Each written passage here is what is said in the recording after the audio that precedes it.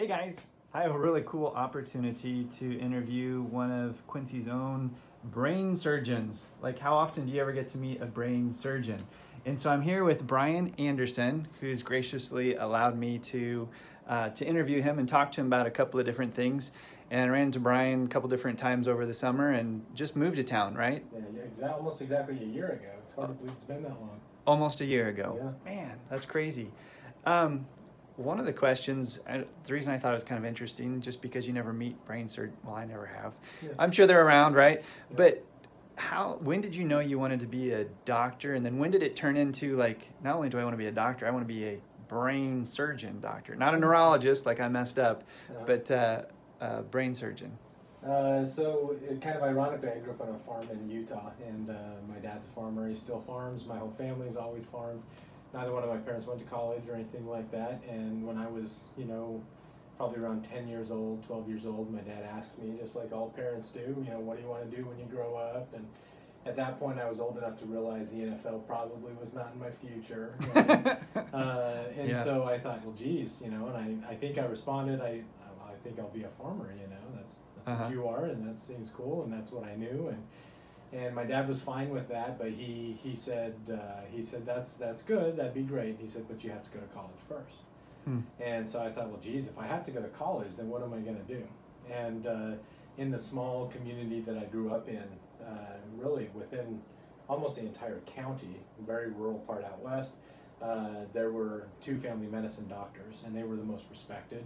Right, they were at the football games to Uh-huh. take care of any injuries. You know, they were just the. only- I mean, everybody knew who the doctor was in town, and I thought, well, geez, I want to be that person. I want to be the one that everybody looks up to and Uh-huh. respect for, and everything like that. And so that was when medicine very first entered my mind. I always loved science, and that just kind of seemed to fit and make sense. Uh, they were the rich people in town, right? They had the most money. And I thought, well, geez, that's not a bad side effect. And so, so that's kind of when I when I decided. So I say around twelve, uh, but then Huh. Brain surgery. I knew I wanted to do surgery because I grew up again farmer. I love to work with tools and all those things. And so I would say two. Uh, I was planning to do orthopedic surgery. Okay. a bad field, sure, but uh, I got into it. I got some exposure to it, and I liked the surgeries, but there were some some things about it just didn't click as well for me. Um, I thought some of the stuff was kind of boring, to be honest. The science wasn't that intriguing. And so, in the beginning of my third year of medical school, I got some exposure to neurosurgery, and I thought, you know, this meets the desire I have for instrumentation and a lot of technology and things like that in surgery. Uh, but the, the science behind it, which is neuroscience, the brain, I thought was, I mean, this stuff was amazing. Yeah. And uh, I thought, you know, this makes more sense for me. And so that's when I transitioned from orthopedic surgery into neurosurgery. And pretty much the day I walked into that, I walked in where the residents were and kind of said, hey, you know, my name is Brian. I'm a med student. I think I want to be a neurosurgeon. They kind of just kind of said, oh, okay, well, you know, this is, I'm so and so, that's so and so. And, uh, and I kind of just immediately felt like this is home, like this is where Huh. I'm supposed to be. And uh, it was a perfect fit, and, and I've never had a hesitation since. So. So if somebody like a little twelve-year-old might happen to see this video at some point, um, what kind of years does it take to get through to something like this? You've got med school, which is three on top of the already four, right? Well, so Then- so you have to have a degree in something, Uh-huh. right? And uh, and so that's a four-year degree, college degree. So one, obviously, you have to get into college, and Uh-huh. then in college, you're gonna have to get some pretty darn good grades. You're gonna to take the MCAT and everything. So four years of undergraduate, you get a bachelor's degree in something. You score well enough uh, in all your classes and the tests to get accepted into medical school. Medical school is then four years. So it's an Oh. additional four years on top of four years. So you have eight years of school and then for neurosurgery, it's an additional seven years of training. Okay. Uh, that's the minimum. And then if you want to do fellowships or something, that can be additional years on top of that. wow. So it's four and four, which is eight years, plus another seven years, so 15 years from the time you start freshman of college until you can be done with residency uh, and actually have a job. That's amazing. That's a So lot of is a long schooling. It's- But it's- I mean, if you're messing with people's brains, that's kind of important, right? yeah. No, it's good, and, and everybody, you know, it's an important process, and everybody needs to go through it. It's very Yeah. You know, each step you think, well, college, once I'm through there and in medical school, things, at least I'll be in medical school, right? That'll be, I'll kind of have arrived. And you realize Mhm. no, because if you want to be a neurosurgeon, you can't just get through med school. You have to be at the top of your class. Mhm. You have to score in the top quarter percentile on the national exams for your certifications. You said top quarter percentile, like point Yeah. two Well, five percent. No, the top 25%. Oh, I'm Top- sorry. Okay. Yeah.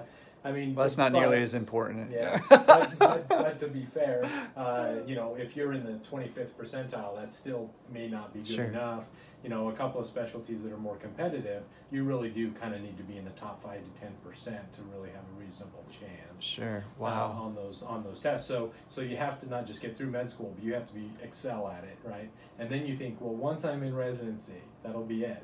And then you realize residency is at least at least twice as hard as medical school no way. if not maybe even three times the hours you know the demanded but again it's important because you learn you learn how to it's like becoming a navy seal or something Sure. like that you learn you can do things that you never imagined you can do Uh huh. you know you can be awake for 30 hours and when you're ready to walk out all of a sudden there's an emergency and you learn that you can immediately get yourself in a situation to to deal with a crisis save somebody's life and and do it without you know blinking and you know, Wow. that's kind of what you want from someone who's whose life you know who is going to have someone's life in their hands Right. so i do think it's it's an, an important process and just kind of required you know Huh. so that no matter what happens people can keep that composure Wow.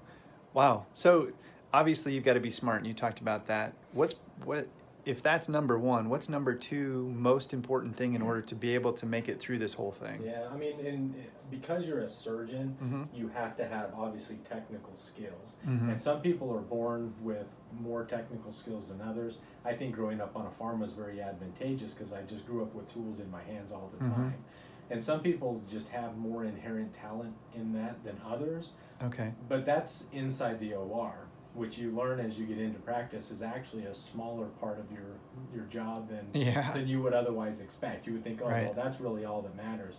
In reality, if a patient doesn't trust you to go to surgery, then it doesn't matter how good you are, Sure. right? And and so honestly, I think the ability, well, just to simply have compassion and understanding for patients, because I don't get to see people who come in and are like, oh no, everything's fine. I just wanted to say hello. You know, they Right. only come and see me when they have a problem, Sure. and these problems are serious. Like I have a big brain tumor. You know, I'm Yeah. 28 years old and I just developed some symptoms and I found out I have a brain tumor. Oh, like wow. that's a horrific place for anyone to find themselves. And if you're not someone who can empathize and relate and, and recognize and treat that person as a person and, and not just a tumor or something, Mhm. then I think it really does limit your effectiveness because people won't trust you and rightfully so. Right. Uh, you know, so I think aside from being smart, you know, nobody cares how much you know until they know how much you care. I love think that one. That's really important. Yeah. Yeah, that's a I'm good one. undervalued too much in my specialty, I think sometimes. Yeah. Well, they talk about bedside manners, and there's Yeah. part of that that goes a long, long way. It does. Yeah, especially when you're talking about somebody cutting your head open. Yes. it takes a lot. Of, Oh, I'm, man. I'm constantly amazed. You know, I did a, a big brain tumor earlier this week. You know, and and he- was waking up. You know, after surgery and stuff. And every so often, you know, I mean, you kind of get tied up in doing this day to day, but but watching him wake up and stuff, it kind of just came through my mind again. This person, right? This Mhm. person in this situation trusted me, right? Yep. Literally said, "Okay, I'm going to go to sleep, and you're going to cut out this brain tumor, and I'm trusting that you're going to keep me alive, and that I'm going to wake up from this." And Yeah. that's that's a lot of that's a lot of I mean, as much trust as you could really have in anyone, I guess Right. and uh, to do it i mean honestly you know i'm i'm not a stranger now but i'm not far from a stranger you didn't Sure. know me two weeks ago and now you let me open you up and and do that so Wow. uh, i'm all kind of always amazed you know that that and sometimes that's the only thing that will occasionally hit you you know like that's a lot of that's a lot of trust it's a lot of responsibility and Sure. and everything. But again, why that process takes so long to get to, uh, because it is important, because that is the type of trust people are putting in you. Well, speaking of the trust and some of those things, I mean, I see your your diploma on the wall or whatever from Penn State University. know. I think that in Quincy, we have some super awesome doctors. I really do. And I think that we've got some specialties here that uh, parallel or exceed even in bigger cities and those kinds of things. And I think a lot of times it, it gets overlooked or nobody really pays attention to that. Can you just can you brag on yourself for a little bit? Like, you know, where what do we really have in you, Brian, as a brain surgeon in, you know, at QMG here in Quincy? Like, what kind of skill level do we have? Yeah, and and that's that's very true. And uh, and sometimes there's no question, you know, like I could have stayed at Penn State, I could have gone to you know wherever, Sure. right? I could have got a job at Mayo or or you know any other university hospital, Barnes or something like that. Mhm. Uh, and the reason I didn't, it's not because I couldn't get a job there, right? It's because I'm a farm boy, Uh-huh. and that's just not the environment that I like to be in. Sure. And uh, I'm sure anybody who's been in academic hospitals and stuff has felt that kind of loss and this giant vacuum, you know, and feeling Mhm. kind of like you're just one in a million kind of thing. And that's just not really me. And uh, Sure. and there's a lot of things about academics that I find frustrating, and that lack of patient connection Mhm. isn't something that I was you know, I didn't go through all of this to, to be in that type of a situation. I wanted to have relationships with my patients and be able to connect uh, a little bit more personally with them. Sure. And the reason I ended up in Quincy, I'm not from the Midwest, not from this area at all. I'm from a long ways away. I have a family. Of course, it'd be great to be closer to my parents and my siblings and all of those things. But I am a neurosurgeon, so I can't Right. go to any town, any community. And so I looked for uh, a, a job that would allow me to have my own practice, which means I get to make my decisions. I get to manage patients the way I choose. I get to hire staff that work with me. Nice. And if they don't work well for whatever reason, then I know I'm not forced to maintain them, which is oftentimes Awesome. the case when you're employed in a hospital or something like that. And so, so Quincy offered me that through QMG. mm-hmm. Uh, and then in a community like Quincy, there shouldn't be a bunch of neurosurgeons doing lots of highly complex stuff. It just shouldn't happen. But because of the geography, the towns in the area, there are a lot of people that live Sure. close to here, but there really aren't any substantial sized towns. And so Quincy, over the years, has developed uh, as kind of a place where the medical uh, technology has concentrated. And so, even though Quincy is a relatively small community, it's able to support a lot more of the the more complex stuff like you would find Right. in larger cities, which is very advantageous. So it's kind of just this perfect constellation. I get Mhm. to raise my family in a small community. I get to enjoy my drive in and out of work, driving past cornfields and, Sure. and horses and, and cattle and things like that. But I uh, but I also don't have to sacrifice and give up a lot of the higher training that I received and spent a long time learning. yeah. And so I did a fellowship in functional neurosurgery, which Okay. is consists of just which is what you would imagine. It's focused on function, so it's not brain tumor resection. It is I have I can't I have tremors, right? My hands Mhm. shake to where I can't feed myself. I can do a brain procedure called deep brain stimulation to stop that tremor. Oh Uh, wow. right. I'm, I'm someone who's had four back surgeries, but I have chronic back pain and my legs hurt all the time. Everyone says there's no other surgeries, there's nothing that can be done for me. Uh, I just today did three spinal cord stimulators, and so I put in uh, electrodes on the spinal cord that allow the that allow us to block that pain signal, so the patient doesn't actually feel their pain anymore. And Wow. uh, these things change people's lives, and they re- restore function, and that's why that term exists. It also includes epilepsy. I do vagal nerve stimula- stimulators for epilepsy. I did one of those two days ago. Wow. Uh, and so that's the functional side. And I Sure. also did a fellowship in spine focused on minimally invasive spine. So robotic spine surgery. So Wow. uh, I guess it's been almost a year ago.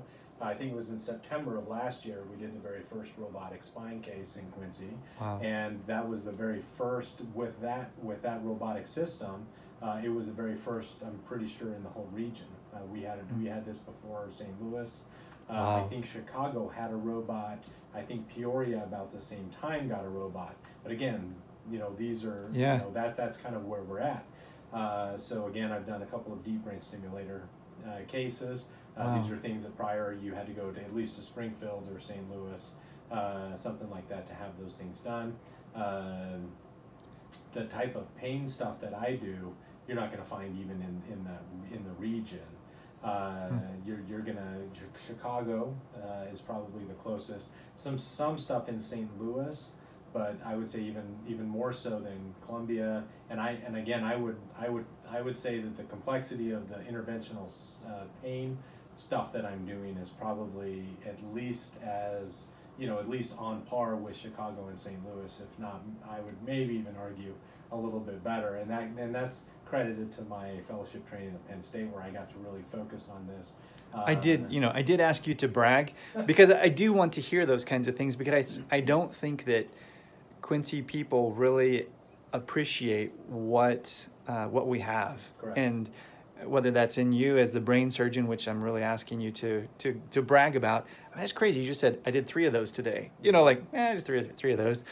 you know, I took out two tumors, three three spinal things. You know, like Yeah. that's the way that the day goes. Yeah. That's awesome. Like I'm so pumped that Yeah. you're here and that you can you can do those kinds of things. Yeah. Um, what else? I mean, robotic spine surgery. You've got the, the you know stopping the. Yeah. Spinal cord uh, stimulators. Yeah, that's Yeah. right on the tip of my vagal tongue. nerve stimulators. uh, yeah, there's a lot of that kind of stuff. Uh, again, along the line of those functionals, I do C2 ganglionectomies, uh, which is basically removing a ganglion where the nerve comes out of the spinal cord to treat occipital headaches. Wow. Uh, and that was that's the first uh, I did that. Uh, Wow. That's not a very common procedure, so we don't see a lot. Uh, but but I did one of those about six seven months ago here, and that was the first one in the region. Wow. Uh, and uh, a lot of what I do is really focused on technology. So there are new uh, spine screws. So most screws are made out of titanium. They may be they, there are some cobalt chrome uh, spinal implants and things like that. Uh, we put in in a patient who has cancer, metastatic cancer. The problem is when you put that kind of instrumentation into the spine, it then causes artifact with imaging, right? So you get a CT scan, but because of the metal implants, it causes scatter and it blurs your ability to see anything. Ooh. So you can imagine if you're a patient who has metastasis to the spine, it's really hard to follow what that tumor is doing because you Sure. can't see when you get repeat imaging. Well, there's a brand new company out of Sweden, uh, and uh, it's the only FDA approved. They're, they're screws that are made out of carbon fiber. and so the cool thing about them is they're radiolucent. Huh. And uh, and so I was doing a debulking of a tumor in the spine and uh, needed to be able to stabilize the spine. Um, young person, right? Uh, I mean, you really want to give this, want to give her every chance, right? Right. To get the best treatment she can possibly get. And uh, and so I, you know, I talked with the hospital and said, I understand these are more expensive and everything else, but I really want to be able to do this for this patient. And we were, and we did. Uh, she uh, fortunately has done remarkable. This was about, this was in December. When we did it, she's done very well from that standpoint, recovered very well. Uh, we had no issues, complications with the carbon fiber uh, instruments that we put in, and uh, and we were the first in the Midwest. Huh. Uh, no one had done any of those. Nowhere in the state of Illinois, nowhere in Missouri. Uh, I think MD Anderson. We were the ninth hospital in the country to do it, uh, and we were the only non-academic hospital to do Wow. it. And so you were looking at, you know, Mayo Clinic, UCSF, MD Anderson, Miami, uh, Wow. Ohio State, and then QMG, Quincy, Illinois. That's awesome. so yeah. Wow. you know, pretty open and uh, again, but to me, that's that patient connection, right? Right. You know, and I think if this was my wife, what would I want her Mhm. to have? Mm-hmm. You know, because if she can't get the best care in Quincy, then she should leave. Right. Uh, but at the same time, I know that the toll that that takes pays on patients, families, and everything else. So my goal is that I want to be able to offer as much as I possibly can to the people here, so that they can be treated here at home, and and and they can have it as you know tolerable of a treatment for a horrible problem as they possibly can. That's and, awesome. You know, and I'm not again like you mentioned. There's a lot of great stuff going on. You know, the docs are pretty amazing. Uh-huh. And I, I definitely do think, coming from the outside world, I definitely don't think the community realizes the talent that they have in, Right, in I agree. And again, QMG attracts people Mhm. that are highly motivated and, and are very good and very talented, but have families and they want and that's Mhm. important to them Mhm. and that makes them more relatable and stuff. And so, honestly, I mean, I've been I've been around the country. I've been trained in Utah, Oregon, uh, Pennsylvania, uh, and now I live here.